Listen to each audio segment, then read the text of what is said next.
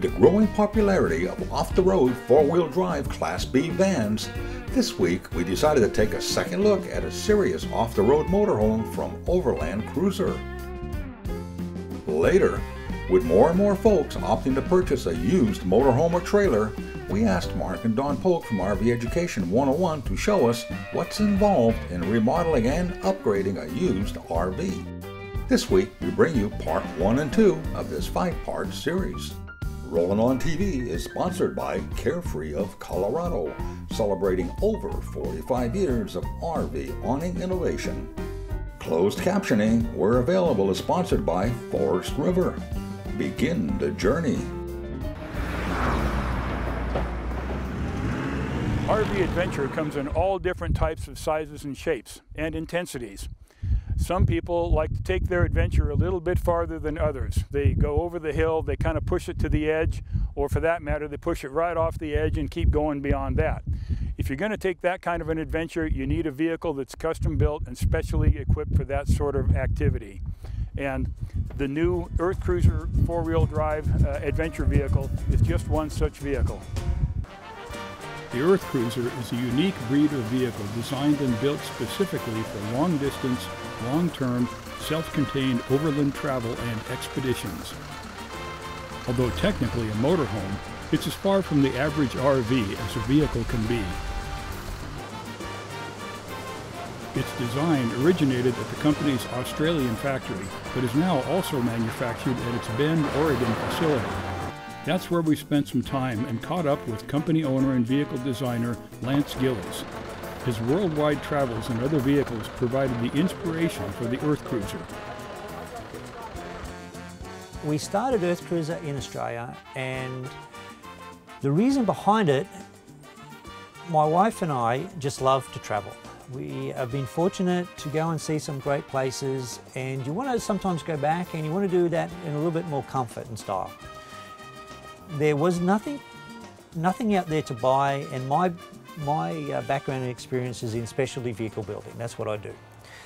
And really that's where Earth Cruiser came from. And so we started the company in Australia. Australia has very strict rules when it comes to what's called second stage manufacturing. You can't just build one of these in Australia.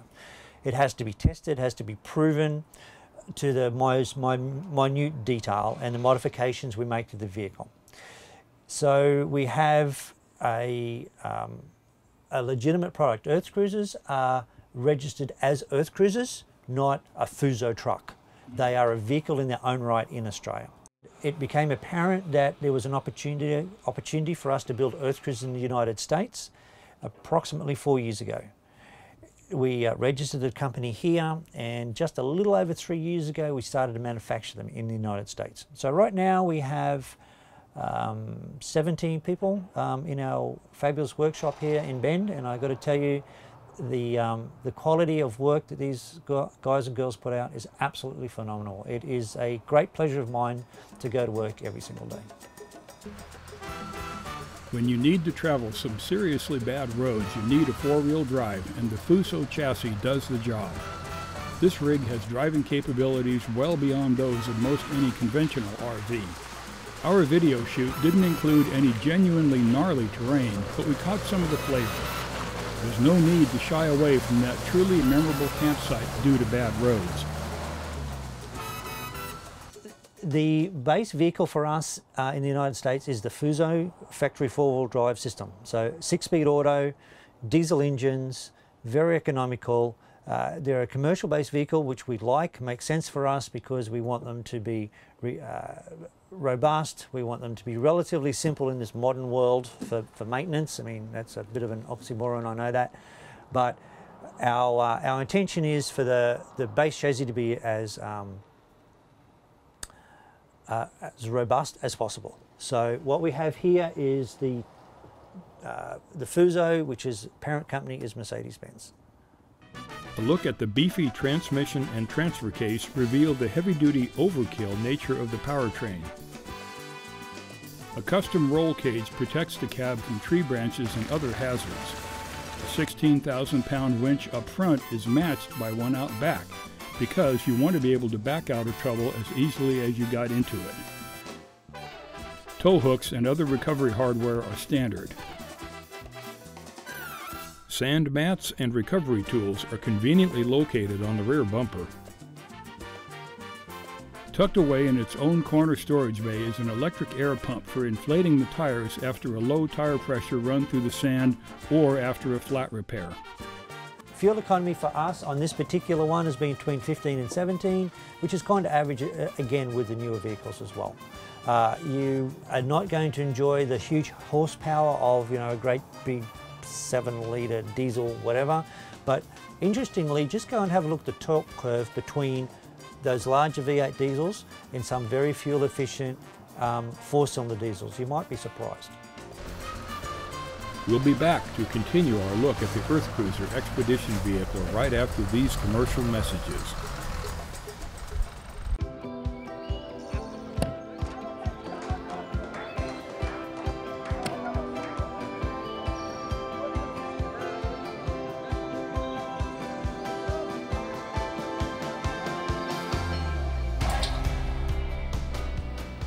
Aqua-Kem Tossins. So fast and easy to use, it could seem like a game. Someone once said, the camping doesn't really start until the RV awning comes out. Whoever said that really knew what they were talking about. Carefree of Colorado, celebrating 45 years of RV awning innovation. For more information, visit our website at carefreeofcolorado.com. Two great contests, two great prizes. First, we're giving away a 130 watt Go Power portable solar panel kit, along with a 700 watt inverter and a 30 foot extension cord. Plus, we're also giving away a super comfortable Rec Pro wall hugger recliner from their famous Charles collection in your choice of colors. For additional information on the contests and how to enter, visit our website at RollingOnTV.com. Welcome back to Rollin' On TV. Serious Expedition Travel calls for a specially built vehicle, and the Earth Cruiser is the right rig for the job. Let's continue our look at this exciting custom built adventure vehicle and super heavy duty RV. The body is double wall molded fiberglass with a structural foam laminate to provide strength and insulation. Our limit for the size of an Earth Cruiser was to making sure it fit inside a shipping container. So that was a, a, you know, the first critical thing to talk about. And so with those dimensions sorted out, the next thing we want to do is keep the profile of the vehicle, uh, uh, of the cab itself. As a, as a driver, you know, fatigue is the, is the biggest killer. And if we can make it that the driver is more comfortable and has less things to worry about and, and, and two can enjoy the view and, and two can enjoy the experience, that counts. You'll notice that the Earth Cruiser uh, cabin is the same profile as the cab. The angle is almost identical. So when you're driving through those trees and you, you and you want to duck into McDonald's or Starbucks to grab a coffee, if the cab fits widthwise, you fit. And with the raised roof model, the, the, the, the roof of the camper is identical to the roof of the cab. And so you have, it's just more comfortable for the driver. The Earth Cruiser chassis is impressive, but its interior and accommodation features add up to enhance comfortable, long-distance, self-contained living. This particular vehicle, um, the, the floor plan in the system is based around comfortable travel for two people. I, I want to get across the point that this vehicle has just come back from Malaysia and that's why the raised roof, that's why you can see there's so much light that comes in here because we are looking for a vehicle that gives us the opportunity to enjoy the outside the floor plan, the, the way everything works, uh, the systems, everything is based around one simple premise. And the premise is that we want to get out and enjoy the world as much as we possibly can because what matters to us is that we want to be able to maintain the vehicle quickly, simply, um, as, as possible and get on with what we really want to do. Uh, the bed is up the back um, and it's just a little under a queen size for the bed. Tons of storage underneath the bed. With the roof down, you can still comfortably sleep. And this is important because some people like to stealth camp. Some people, if the weather, um, for whatever reason, that makes sense. So from when the roof is down, it's 24 inches from the top of the mattress to the bottom of the bottom of the bed, and that would be very familiar for a lot of people with truck campers. Uh, drawer storage is the most efficient. Cupboard storage we find inefficient. This is an off-road vehicle, so we pay a lot of attention to making sure the drawers shut and stay shut. You'll notice note there are no drawers forward-facing where they could open and then become uh, a, a, hazard when you're off-roading. Those sort of things matter to us. The Ford dinette, we have the heating system underneath one seat. We have a laundry under the other for just your, to dry your clothes out as, you, as you're traveling. Kitchen bench is, um, again, it's fiberglass. It's uh, with, the, with the hard surface, easy clean. You'll see there's no sharp edges, rubbish bin in behind it, twin sinks, silly things, but we think they matter. Twin sinks with the plugs at opposite ends, so if you are a little bit out of kilter, it still drains. Uh, purified drinking water, not just filtered, but is purified, so we can pick up water from anywhere. Critical for what we do. The refrigerator we use is marine fridge stainless steel. It has some inherent features that work for us, being a, a marine style compressor fridge. So again, it's 12 volt. Most importantly for us, it'll work at a level, at out of level, at a very low current draw. Overhead, there's a microwave oven attached to the ceiling, and like other 120 volt appliances, it's powered by the inverter. A central system panel contains most of the vehicle's electrical circuit and appliance controls, and monitors for the furnace, solar charger, and so on. Dometic European-style windows include vertically deployed shades and window screens, and the windows hinge at the top to avoid water intrusion in bad weather. What we also have is access through to the cab and so what you can do with an earth cruiser, there's a row of switches beside the door, you can close the roof, pull the awning in, the catch on the outside of the door is internal, well, kind of internal, so you can grab the door and close it. So you don't have to exit the vehicle to leave. This matters because the security aspect is enormous. We can easily jump through if we want to, start the truck and be on our way. It doesn't matter if it's crocodiles, kangaroos and mosquitoes out there that you don't want to don't want to have to deal with. Everything can be closed up and gone in about 27 seconds and, you, and you're out of here. And that's why we have access to the cab. It's critical. The Earth Cruiser is not for everyone. It's a comfortable but serious vehicle with every feature chosen for its intended use, which is long-term adventure travel with no restrictions on getting there. To learn more about the Earth Cruiser, log on to our website at rollinontv.com.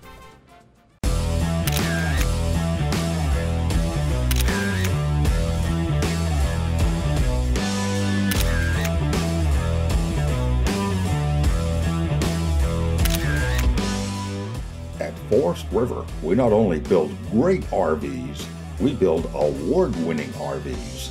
Check out our complete product line at forestriverinc.com.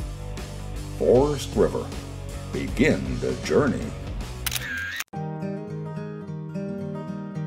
At Norcold, we realize that some of your favorite RV destinations are off the grid. And Norcold refrigerators are uniquely designed with that RV experience in mind. We call it Freedom Unplugged. To learn more about our Norcold RV refrigerator line or to find a dealer near you, visit our website at norcold.com. Hi, and welcome to our RV interior upgrade project. The RV getting the upgrade is our fifth wheel destination camper at the beach.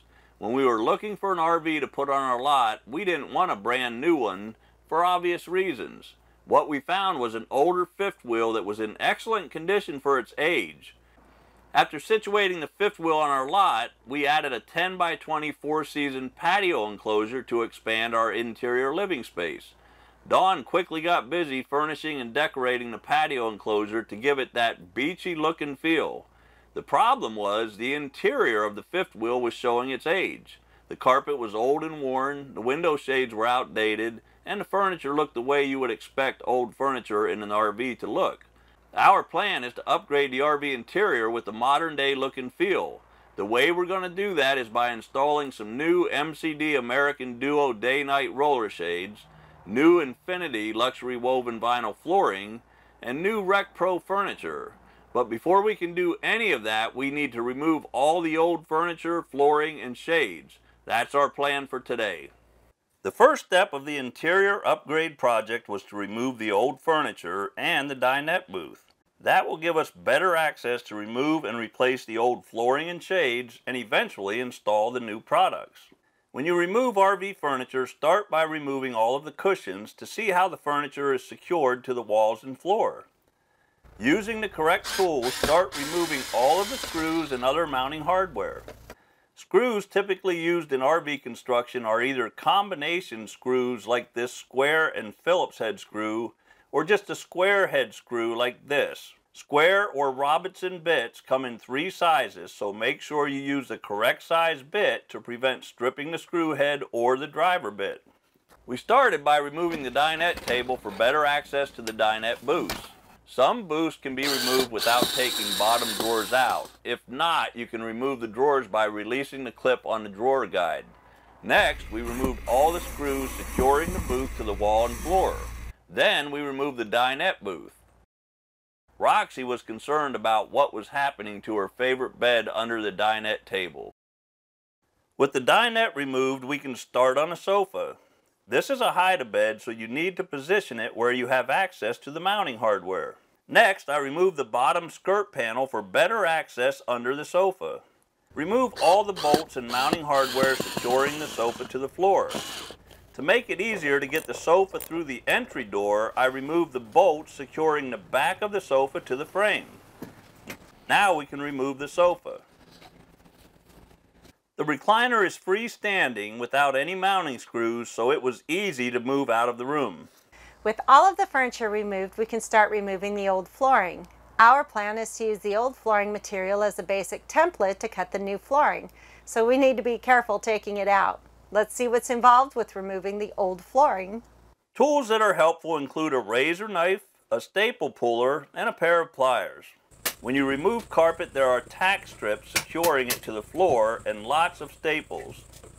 After a piece of carpet is loosened, you can pull it away from the floor one section at a time. I plan to use the carpet from the steps as a template too, so I was careful removing it.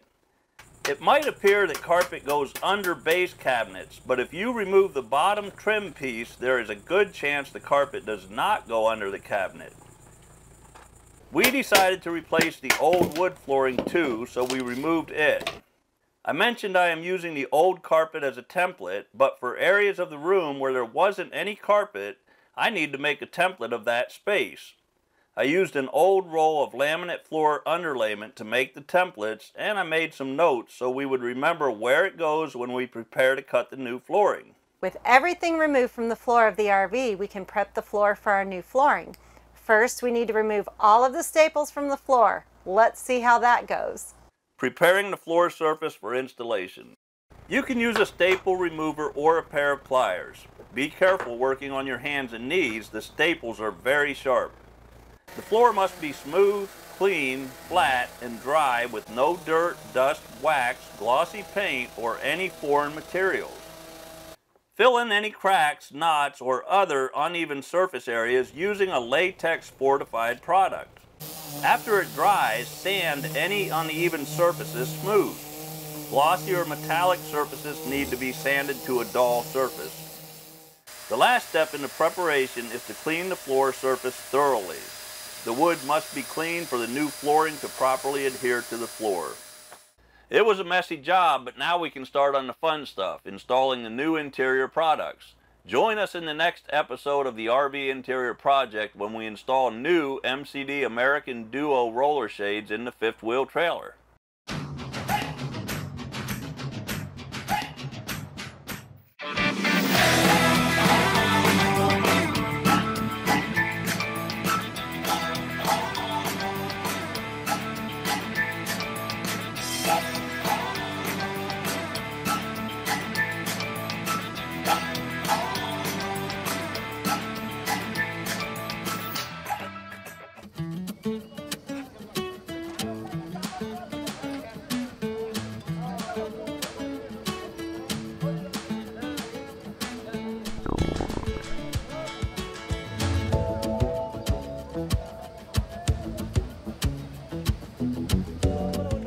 Am I glad I used Aqua-Kem. Maybe chili wasn't the best idea. Aqua-Kem, the most powerful odor control available and the number one seller for over 50 years. Welcome back to the RV Interior Upgrade Project. So far, we've removed all the old furniture and the old flooring. Today, our plan is to remove the old curtains, mismatched blinds, and the pleated shades in preparation for installing the new MCD American Duo Day-Night Roller Shades. With this installation, we are keeping the original valances, but removing the rest of the window treatments. The first thing we need to do is remove the old curtains and rods. There is not much space between the wall and the valance, but if you reach up and raise the curtain rod at both ends, the rod will come off. Next, we remove the old shades from the five windows we are installing the new MCD shades on. The shades are secured using clips, so all I need to do is put a screwdriver behind the shade where the clips are located and it pops right off of the clip. With the shades removed, now you can remove the screws from the shade tensioners and remove any remaining hardware. The MCD roller shades are custom made for your RV. After following the measuring instructions, your custom made MCD shades arrive in no time. We selected the American Duo Day Night roller shades. The MCD day shades offer excellent outward visibility and daytime privacy, and all nighttime shades are comprised of 100% privacy and blackout shade materials. The shades are available in a variety of styles and colors to complement the interior design.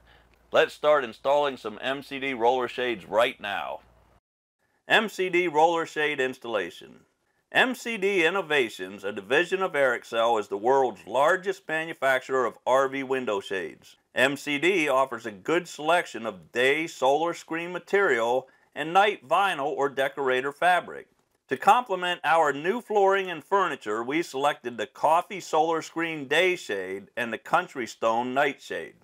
Start the installation by mounting the clips to the top of the valance. For best results, the shade should be located as close to the glass as possible, typically 3 eighths of an inch away from the window frame. But do not mount it so close that the shade can get caught on anything when it's lowered.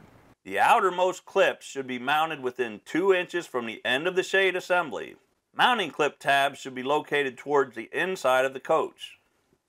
Installation screws are not provided due to the variations in requirements. MCD recommends using number 8 panhead sheet metal screws. The most common length is 1 inch, but may vary due to the needs of your particular installation. Center the shade assembly, check for proper orientation, and attach it to the mounting clips. The shade assembly is mounted to the clips by placing the outside edge of the assembly rail into the clips and rotating the shade towards the clip tabs to firmly and solidly snap the mounting rail into place.